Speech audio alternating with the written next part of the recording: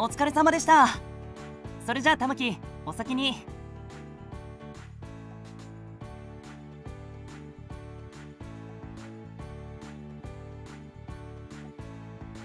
はいお疲れ様です。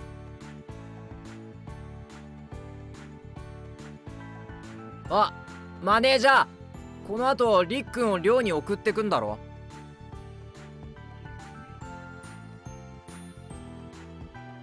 いおりんに連絡してもしあれだったら迎え行ってくんない？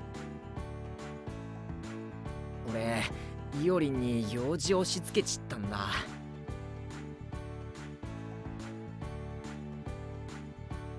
用事ってどんな？それは絶対言えないんだけど。え？気になる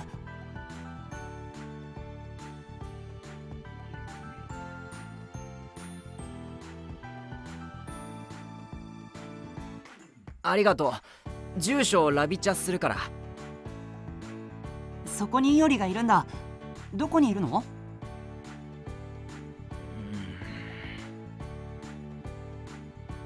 え言えないようなところ？言えないわけじゃ。未成年が行けないところ？未成年が行けないところにイオリが？ちげえよ。えっとえっと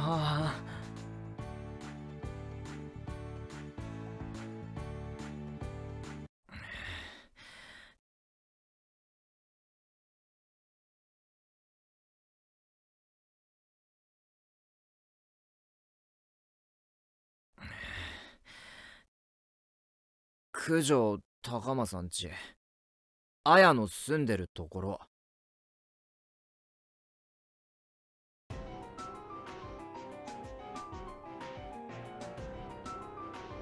九条の家にイオリが。なんでそんな。一人で行ったの。何か変なこと言われたのか。無理やり連れて行かれた？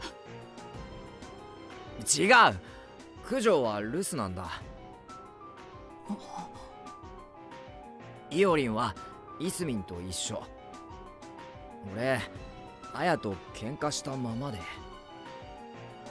イスミンが取り持ってくれるって言ってくれたのに仕事を忘れてたからイオリンに言ってもらったんだ。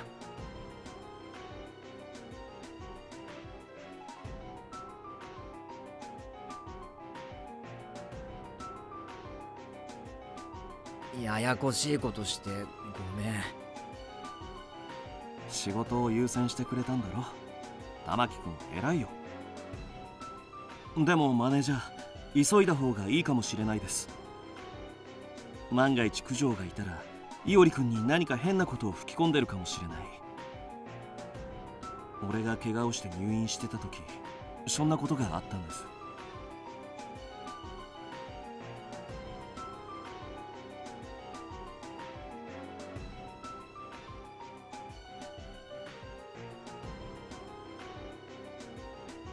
もちろん。イオリ心配ないといいけど。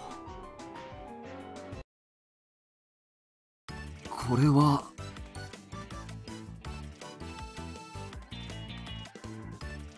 お待たせしました。どうぞ遠慮なく食べてください。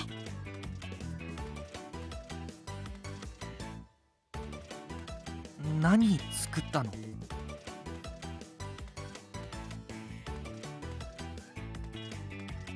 ーパーにパイ生地を買いに行ったらクッキー生地が売ってたからサーモンパイをアレンジしてみたの。つまりサーモンクッキー？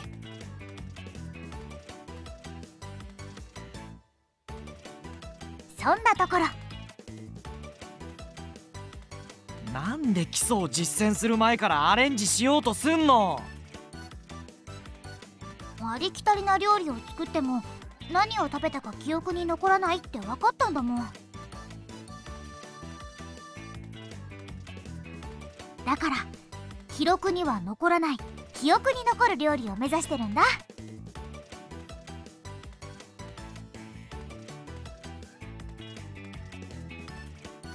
名言っぽく言ってるけどサーモンのクッキー巻きだぞ。美味しいかもしれないじゃない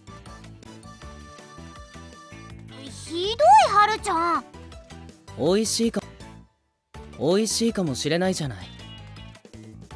お兄ち夕食作ってくれてありがとう。ゃ んどういたしまして。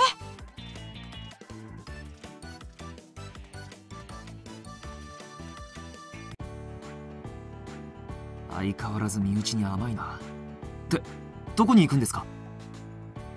君たちの夕食会に僕がお邪魔してたら悪いでしょ。部屋で食べるよ。そんなことないですよ。ないですよね泉さん。いやあうん。泉九条天とも仲良くしたいの？仲良くしなくたっていいですが聞きたいことがあるんです。忙しいんだ。ごめんね。じゃあ自分の部屋にいるから後で伺ってもいいですか？いいわけないでしょ。夕食を楽しんで。いおりさんどうぞ食べてください。ちょっと待ってください。私ケーキ屋の息子で。あすごい。美味しいケーキの作り方ご存知ですか？教えてほしいなサーモンをクッキーで巻こうとする娘さんに私のような平凡な男が教えられることなんて何一つありませんよ。あなんか難しいこといっぱい話してくれてる。あなた体感だけで生きてますね。四つ葉さんに似ています。兄弟だから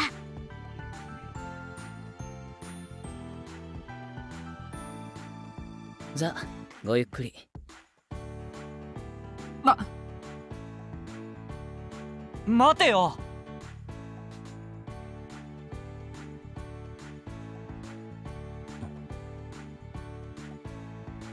あいや俺たちは別にその邪魔とかないしよかったら一緒に食べたら。ああでも忙しいんだっけ？無理ならいいけど。何ブツブツ言ってるの？な言ってないよ。いいよも下手に出た割に忍耐力がない人ですね。ちゃんと顔を上げて僕の目を見て誘ってよ悪いこと言ってるわけじゃないんだから。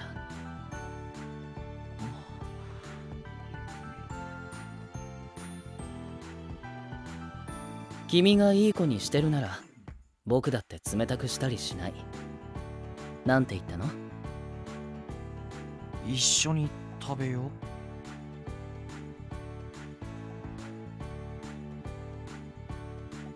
う。いいよ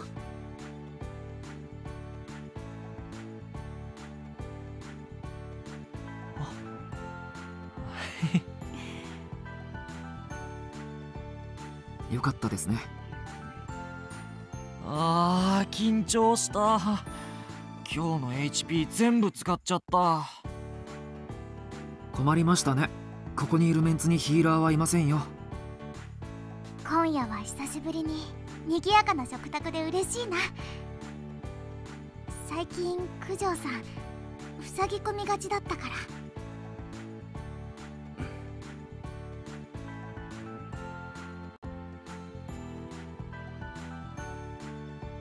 そうなんだ。九条高政さんが塞ぎ込みがち。意欲作であるトリガーのミュージカルを制作中なのに。はい。原因は何ですか？心当たりはありますか？ちょっと家庭の問題に口を出さないで。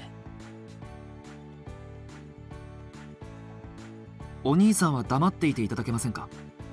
私はあやさんの友人の連れとして彼女と話してるんです。お兄さんって呼ぶのもやめて。ちなみにあやさんの実刑の代理人でもあります。兄ちゃん元気ですか？どちらの兄ちゃんですか？ああえっと玉木兄ちゃん。元気ですよ。体の方はね九条のせいでややこしいな。僕のこと？ああいや高政の方。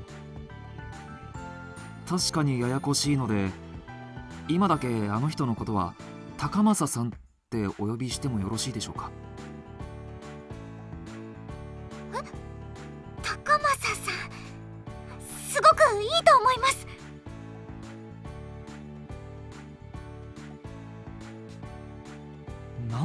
そうなの？う嬉しそうなんかじゃないよ。もうはるちゃんたら変なこと言わないで。高政さん。やっぱ嬉しそ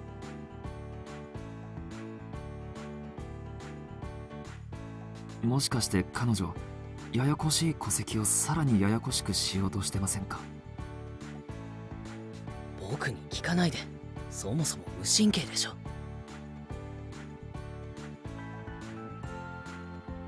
確かにすみませんでした。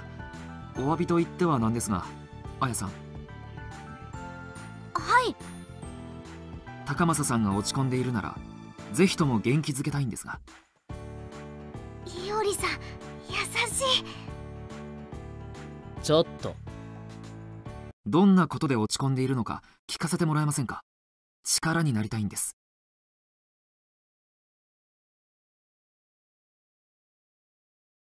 俺は力になりたいとか別にないけど。やっぱりさくらさんが亡くなったことで？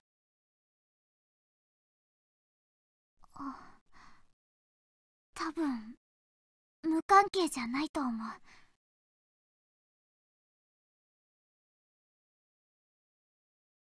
さくらさんの遺作の楽譜をもらってからそれを眺めてずっとため息をついてる。さくらはるきさんの遺作？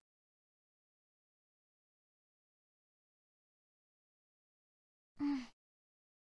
家のピアノで何度か弾いてた。私も頼まれて弾いたことがあるよ。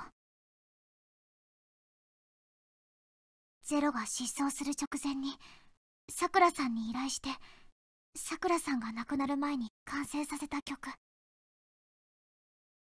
すごく素敵な曲なのにあの曲が九条さん高政さんを苦しめてるんだと思う。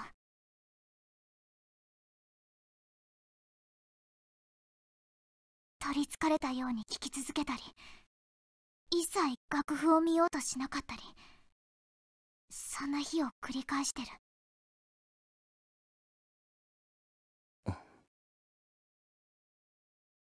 それどんな曲？よかったら今弾くよ。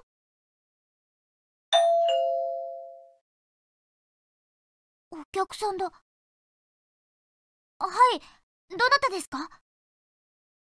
こんばんは、八乙女です。こんばんは、綱氏です。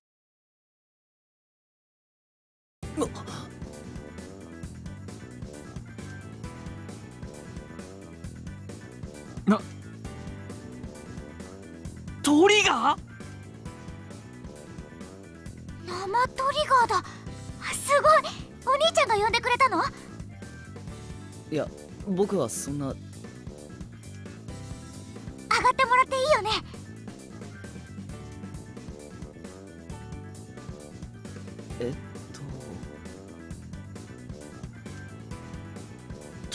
集まるの？俺帰った方がよくない？そんなことはないでしょ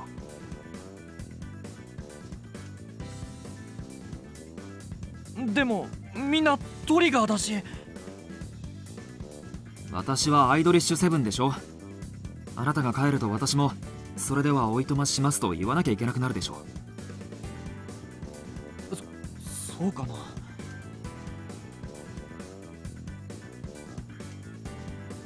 そうですよ。空気を読んで。遺作を聞くまでは帰らない気持ちで。ちょっと君たちに聞かせるつもりは。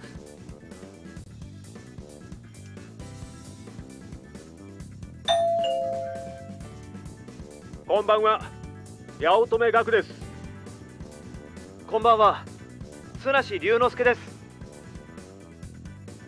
お兄ちゃん早く出てあげないとえーとそうだね。分かった。僕が出るよ。あやさんピアノがある部屋はどちらですか？一緒に来てもらっても。あでも生鳥が。泉伊織抜け駆けはずるいでしょ。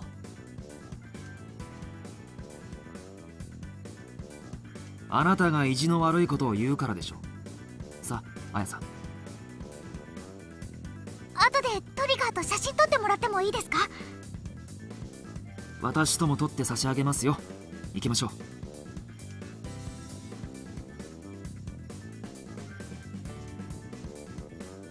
う。待って。こんばんは。トリガーの八乙女学です。こんばんは。トリガーの綱師龍之介です。なあそろそろ出てあげた方がいいんじゃない？グループ名まで名乗ってるし。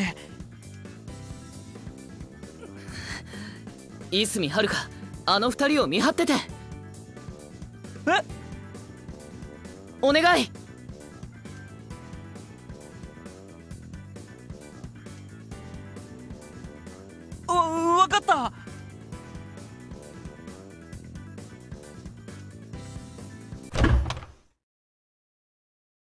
ごめん。待たす。うお。テン帰るぞ。何言ってるの？俺の家に帰って3人でしっかり話し合おう。天だけに背負わせたりしない。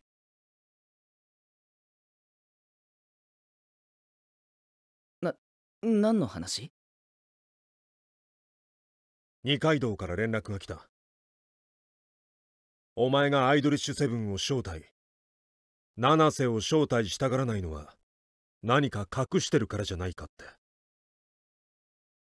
お前の身に危険が及ぶような。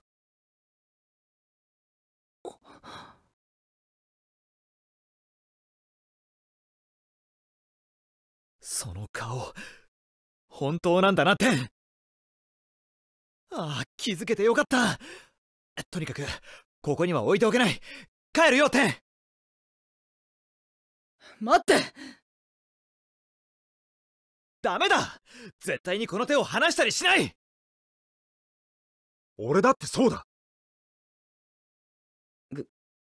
九条さんは大阪に出張なんだ。今夜は綾が留守番しててだから留守番に来ただけ？じゃあ二階堂のラビ茶は？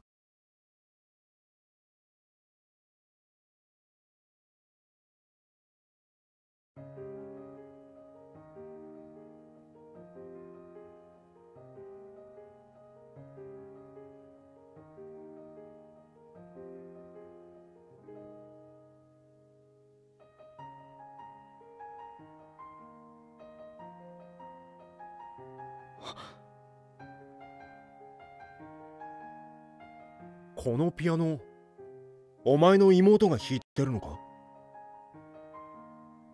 話してガクリュウ。この曲がさくらはるきさんの遺作。え？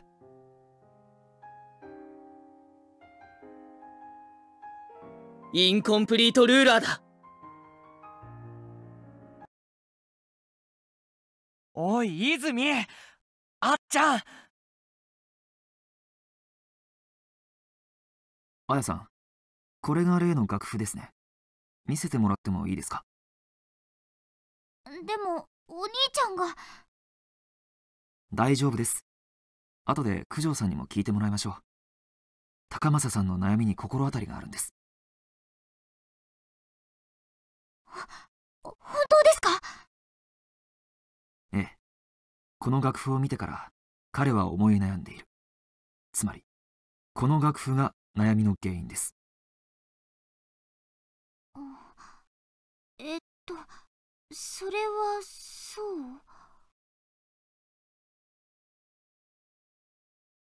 普段から聞いたり弾いたりしているんでしょ？私に見せても問題ありませんよ。おい泉！責任は私が取ります。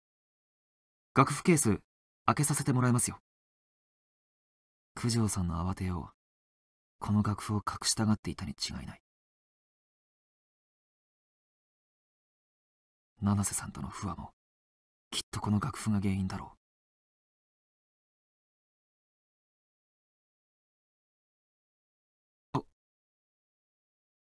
曲名なんて書いてあるの？うインコンプリートルーラーインコンプリートルーラー。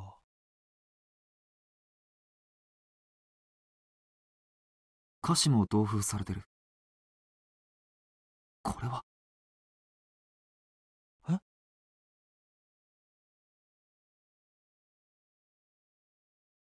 さくらはるきさんの遺作って確かゼロが制作を依頼したって言ってたよなそうなの。じゃあゼロが歌うつもりだったんだよね？そう。でも答えがわからないから高政さんも苦しんでるんだと思う。いおりさんはるちゃんどうしたら高政さんを助けてあげられると思う？助けるって私弾きますね。私の手から楽譜を取り上げて綾さんがピアノに腰掛ける。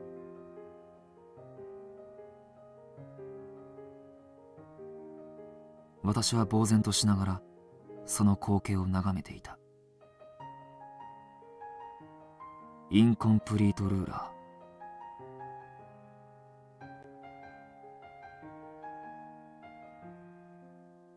ゼロの最後の曲。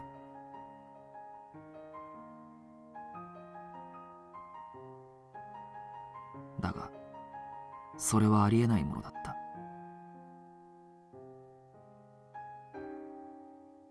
胸を揺さぶるこのメロディーはゼロの曲として成立しない。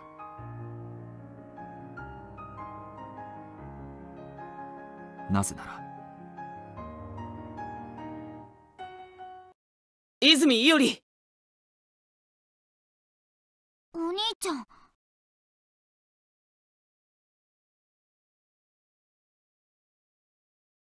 泉弟？といすみ？トリガーの八乙女と綱氏綾さん続けて。九条さんどういうことですか？説明してください何？あなたはこの楽譜の謎の答えを知っているんでしょ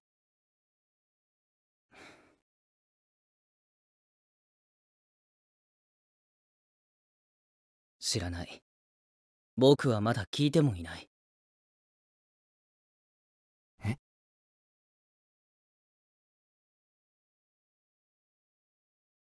インコンプリートルーラーはゼロのエンディング曲だどんな曲なのか九条さんは答えてくれなかった。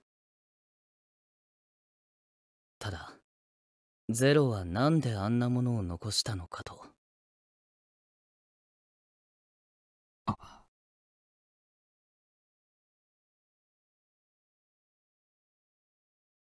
そうだったんですか。失礼いたしました。こちらがインコンプリートルーラーの歌詞です。作詞家名はありませんがおそらくゼロだと思います。ゼロの書いた詩。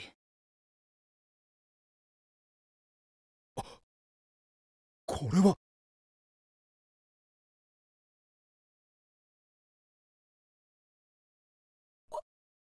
どうして？